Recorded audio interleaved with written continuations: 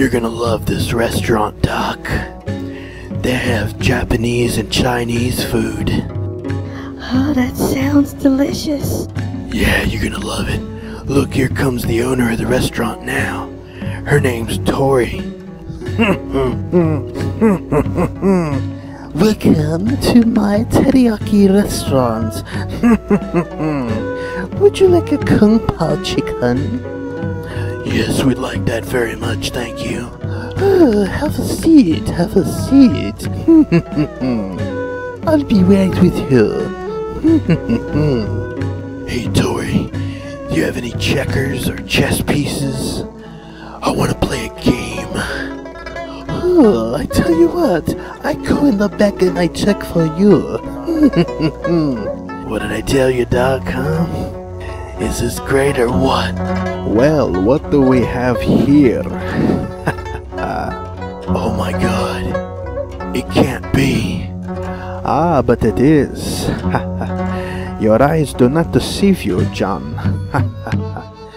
Stefano DiMera. That's right, John.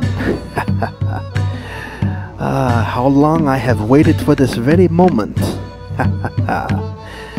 Yes, my plan is coming to a final act. a grand finale of sorts. you see, you, Marlena, and the whole Brady family will be nothing more than a distant memory. Ah, sweet, sweet revenge.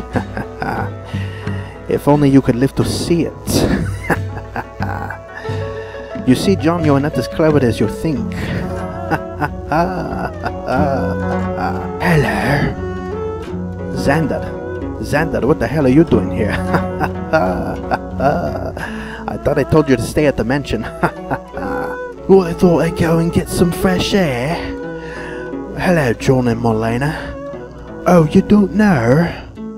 Since my dear Uncle Victor decided to disown me, I'm working for Stefano DiMera now. he is indeed, my friend. he is indeed. Looks like the games have just begun.